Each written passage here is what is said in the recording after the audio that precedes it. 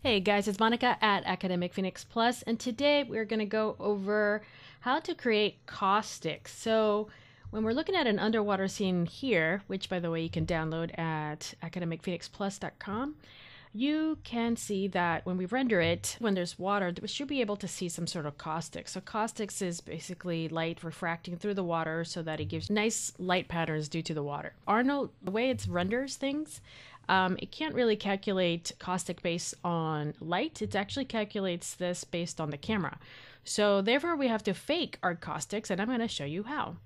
There's really a fun way of doing this. So um, already if you guys uh, download the file, there in your source images, you'll find something called frames. And in here you'll find these caustic uh, renders that have already been done for us. So it's uh, it should be a repeating texture, and therefore, as the animation continues on, you'll be able to.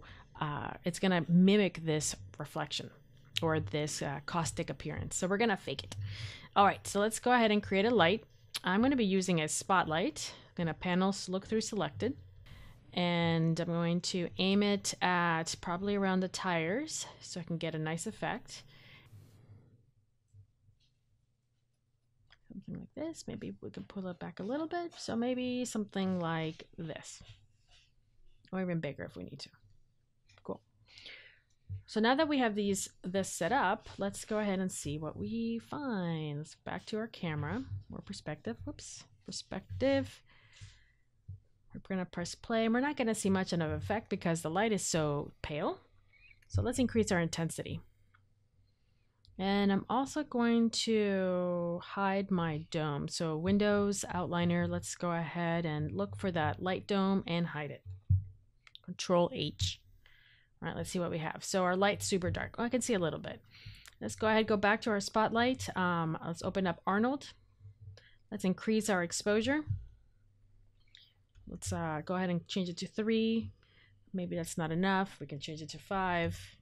So now we're starting to see the light. There's a fish there. We can get some nice angles. You can see the shadow. Cool. So now that we have this effect, this is where our caustics is going to affect our scene. I'm going to go ahead and press stop. So the way to make this work is that we want to be able to see a texture attached to our light. So if we scroll down, we're going to find something called light filters. When we click on add, there are a couple of filters that we can add, and one of them is called Gobo. Go ahead and add that. And now we have an AI Gobo. If you know anything about film, uh, a Gobo is a texture that you put in real in front of a, a real light when you're filming. So uh, they use this to mimic uh, real life in Arnold. So we're going to double click on this and you're going to notice that it's got this little icon. It means that it's can't really render on its own. And then we have this thing called a slide map. A slide map is exactly what it sounds like. It is a map. This is where you put a texture. So we're going to go ahead, go to our outputs. Let's go to file, click on that little folder, and then go to frames and select the first one. Awesome. So we're going to go and check it out, what that looks like right now.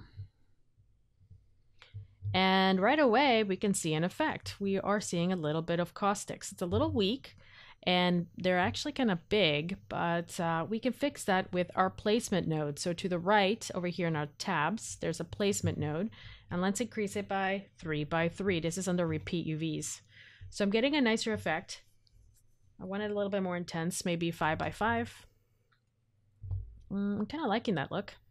We'll see.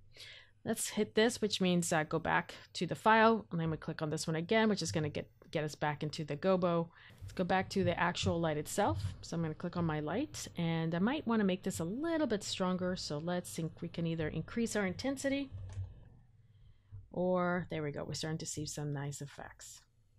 Now, if you were doing a still, this might actually be pretty nice. So we can bring back our sky dome.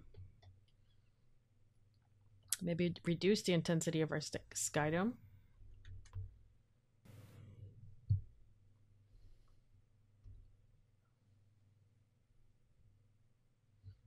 And once we add our sky dome and reduce the intensity of the sky dome, we might have to act to be able to see the caustics here. You might actually have to boost the intensity as well. So you always have to kind of play around. But what if we wanted this to be animated?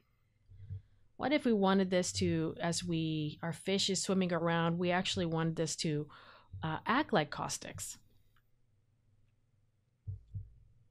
Reduce the intensity of this again. This is my dome.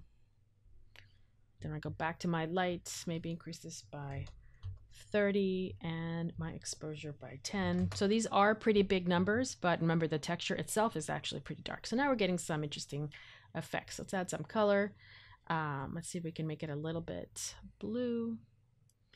And our sky dome is already a little bit blue, so let's add a little bit more blue. There we go. Now we're getting some interesting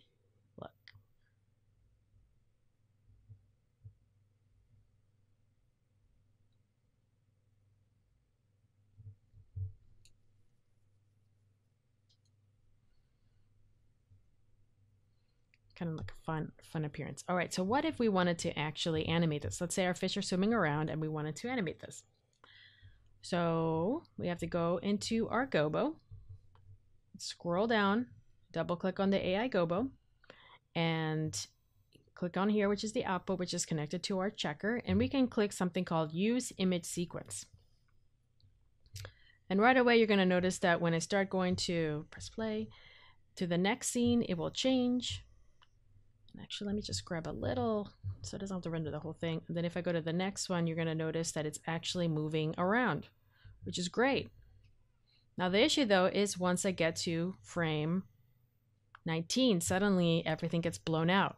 And the reason why is because our caustic textures only finish at frame 16. So it basically runs out and it doesn't know how to continue on. So what we have to do is tell it, all right, just go ahead and loop the animation so that it continuously uh, rotates. So that way, if it goes to 16 past 17, it will continue using, it would just kind of loop the animation. So to fix that, we need to go to right click, edit expression. So again, notice that this is purple, which means that it's got an expression. Right click, edit expression. And notice that it basically says it's going to read the file, the extension equals frame. So that means that it recognizes the frame. So what do we do? Well, uh, I'm going to be the first one to be honest and say that uh, I actually have very little knowledge in scripting. I know enough to get myself in trouble, but in this case, I just wanted to repeat. So if I'm not really sure of, of how that works, I usually just look up look it up on the internet and then I find the answer. And the answer is this. There we go. So when I click edit, it saves it. So again, I looked this up. Close this off. I'm going to go through and you'll see that it actually goes keeps working until even past 16 and it just continues on and on and on and on. So what's really neat about this is that you get a caustic look. As I start moving this around, you'll notice that the animate the caustics is actually impacting the environment. So I'm going to add a little bit more fun things in here because it's a little plain. So let's say, for example, I'm going to stop this just to add a little bit more. I'm going to go back to my light I'm going to go to Arnold settings and let's go ahead and create an AI fog. And let's see what that gives us. Press play. Cool. So that gives us a little bit of fog. So it makes it feel like there's depth. We can add a little bit of color. So for example, if we wanted to go a little light blue, maybe purple,